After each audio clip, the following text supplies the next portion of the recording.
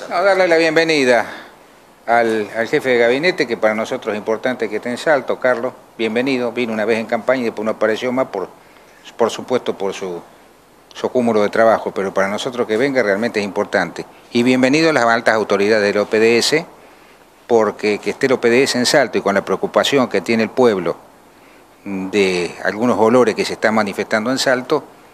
creemos que ellos alguna solución van a traer al tema y si no la, vamos a trabajar en conjunto. Evidentemente el municipio este está interesado que vengan las autoridades provinciales porque queremos trabajar en conjunto.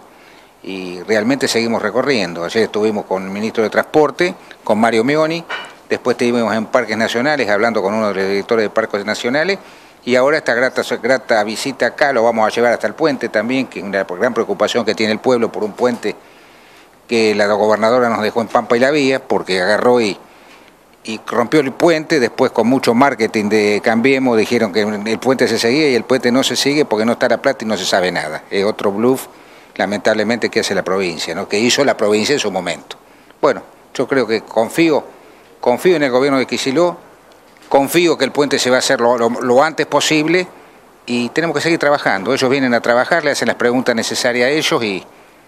y, seguimos viaje. Gracias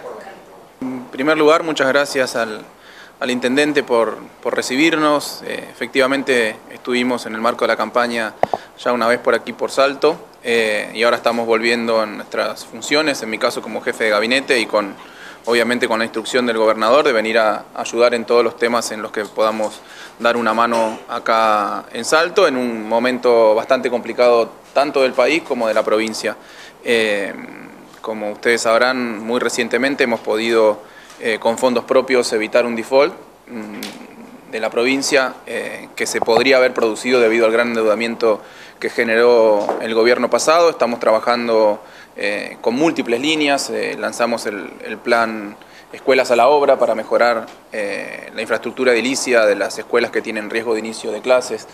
Para marzo, esta semana también se lanzó el programa Arriba Pymes, que era un conjunto de líneas de crédito, medidas, moratorias, etcétera, para eh, favorecer a, los, a, las pymes y a los pequeños y medianos productores agropecuarios y también a los pequeños comercios y a los pequeños servicios. También ayer, en el día de ayer, eh, se ha efectivizado eh, en un convenio con, la,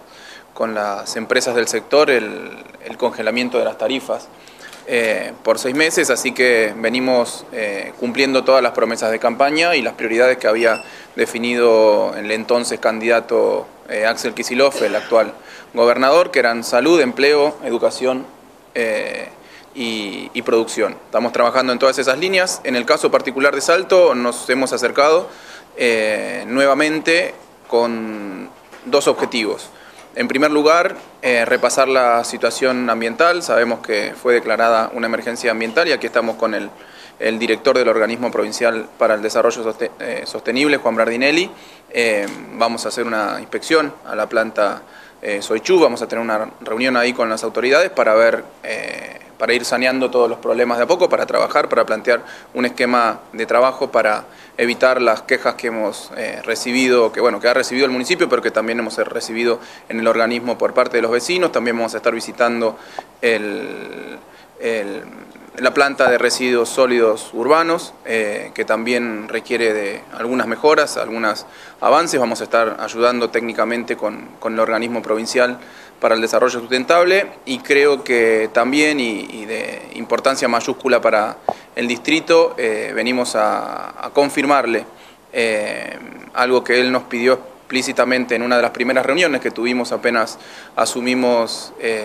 las tareas en, el Ejecutivo Provincial, que es la construcción del puente del puente Valentín Vergara, que como decía el intendente, eh, vinieron con las típicas estrategias de marketing, etcétera, a mostrar que se estaba trabajando cuando en realidad lo único que se hizo es demoler el puente anterior y nunca se avanzó en la construcción del nuevo puente. Hay que avisarle, hay que hacerle conocer a la, población de Salto, a los saltenses, que eso, ese puente provisorio que está ahora implica un gasto importante para el municipio que con esta obra eh, va a liberar recursos para el municipio para que sean justamente eh, derivados a otras necesidades que, tienen los vecinos y las vecinas de Salto, así que quería, queríamos venir a confirmar eso, que está dentro de la lista de prioridades de obras que tenemos para hacer provinciales, el, puente, que en breve se van a estar liberando los primeros pagos para ya muy rápidamente comenzar con las obras. Eso es algo que hablé justamente hoy por la mañana con el ministro de Infraestructura, Agustín Simone, y me confirmó que, que ya estaban avanzando fuertemente en eso, así que creo que es una, buena noticia aquí para, para todo el distrito.